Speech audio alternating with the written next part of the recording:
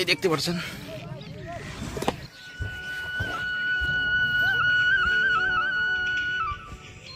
বন্ধুরা, এখন আছি, এটা হচ্ছে গাজলের কুটি।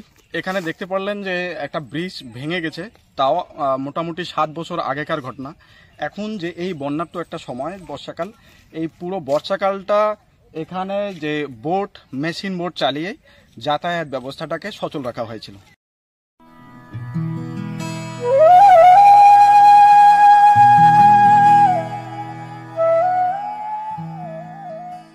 হ্যাঁ বন্ধুরা, ঠিক পূর্বেকার ন্যায় এইবারের আজকের এই ভিডিওটিতে আপনারা দেখছেন গাদলের কুঠি ঘাট, আর যেখানে কিনা রয়েছে একটি ভাঙ্গা সেতু, তা দীর্ঘ সাত বছর ধরে।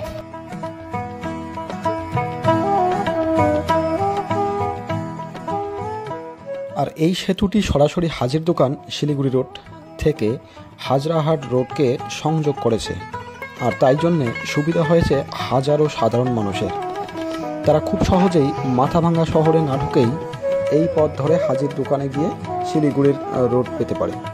অনুরূপভাবে হাজরাহাট বা বালাসিতে যাওয়ার জন্য মাথা মাথাভাঙ্গায় না গিয়ে এই পথ ধরে খুব সহজেই হাজরাহাট রোড পেয়ে উপকৃত জনসাধারণ।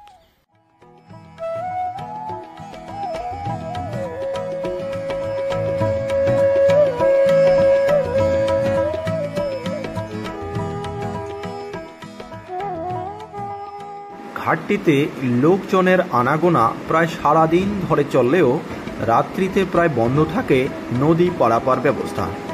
তবে সন্ধ্যা সাতটা, আটটা অবধি মাঝি মাল্লারা থাকলেও তার পরবর্তী সময়ে নৌকা নদী পাড়ে বেঁধে রেখে বাড়ির দিকে রওনা করেন আরাম বিশ্রামের জন্য। জায়গাটিতে এই প্রথমবার এসে সত্যি মুগ্ধ হলাম মন কাড়া প্রাকৃতিক রূপ সৌন্দর্যে। ঠিক এখান থেকে পূর্বে প্রায় চার কিলোমিটারের ব্যবধানে রয়েছে মাথাভাঙ্গা মূল শহর। আর সামান্য কিছু পূর্বে রয়েছে আমবাড়ি সোশ্যাল পার্ক এবং তারই অল্প কিছু দূরত্বে রয়েছে মাথাভাঙ্গা রেলওয়ে স্টেশন।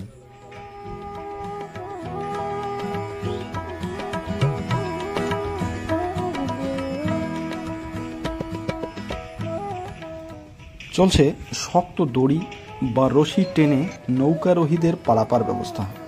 যেহেতু নদীটিতে স্রোত কম আর জলও কম তাই মেশিনের তেল বাঁচিয়ে দৈহিক পরিশ্রম করে প্রয়োজন মতোই কখনো একজন কখনো বা দুজন মিলে দড়ি টেনে টেনে নৌকারোহীদের নদী পার করছেন।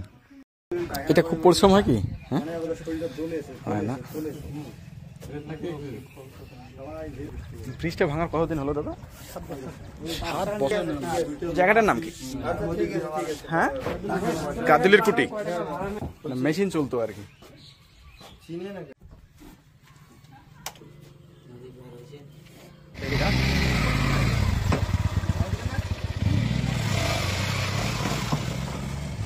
আর হ্যাঁ প্রিয় দর্শক, গ্রামগঞ্জ ঘুরে বেরিয়ে প্রকৃতির সৌন্দর্য চিত্র আপনাদের সামনে তুলে ধরাই আমাদের উদ্দেশ্য। আর তাই, এই চ্যানেলটিকে সমর্থন জানাতে ফলো কিংবা সাবস্ক্রাইব করুন এবং লাইক কমেন্ট শেয়ার করে পাশে থাকুন।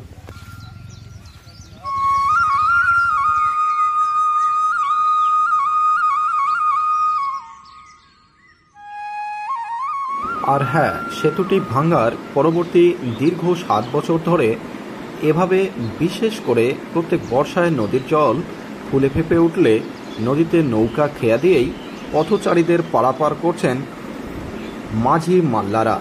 কখনো বা নৌকার মেশিন চালিয়ে আবার কখনো বা দড়ি টেনে টেনে। এখানে সেতুটির প্রতিষ্ঠাকাল জানাতে পারছি না, তবে এই সেতুটি নির্মাণ হয়েছিল বাম জামানায় শেষের দিকে। এবং সেতুটির শিলান্যাস করেন শ্রী দীনেশ চন্দ্র ডাকুয়া। অর্থাৎ প্রায় তিন দশক হলো এই সেতুটির বয়স।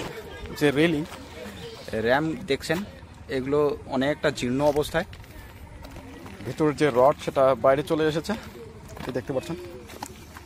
খুবই পুরোনো একটা ব্রিজ এবং এটা সময় মতো মেরামত না করার ফলে এই দুর্ঘটনাটা ঘটেছে।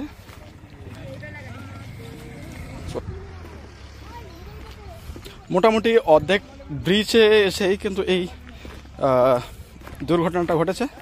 এই দেখতে পাচ্ছেন। এই পার্টটা কিন্তু পুরোটাই আলাদা হয়ে গেছে।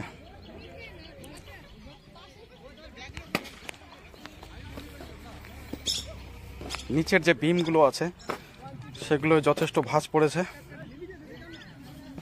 এই দেখতে পাচ্ছেন।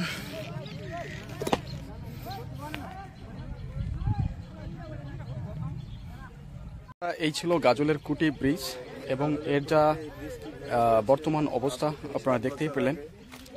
এবং এই এখন ব্রিজটি ভেঙে যাওয়ার কারণেই এখানে চলছে মেশিন বোট চালিয়েই যোগাযোগ ব্যবস্থাকে সচল রাখা হয়েছে। এই দেখতে পাচ্ছেন।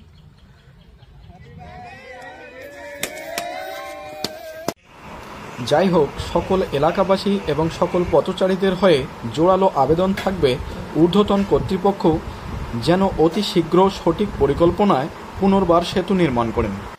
তো বন্ধুরা, ফিরছি খুব শীঘ্রই নতুন একটি ভিডিও নিয়ে। ততক্ষণ পর্যন্ত ভালো থাকবেন, সুস্থ থাকবেন। ধন্যবাদ।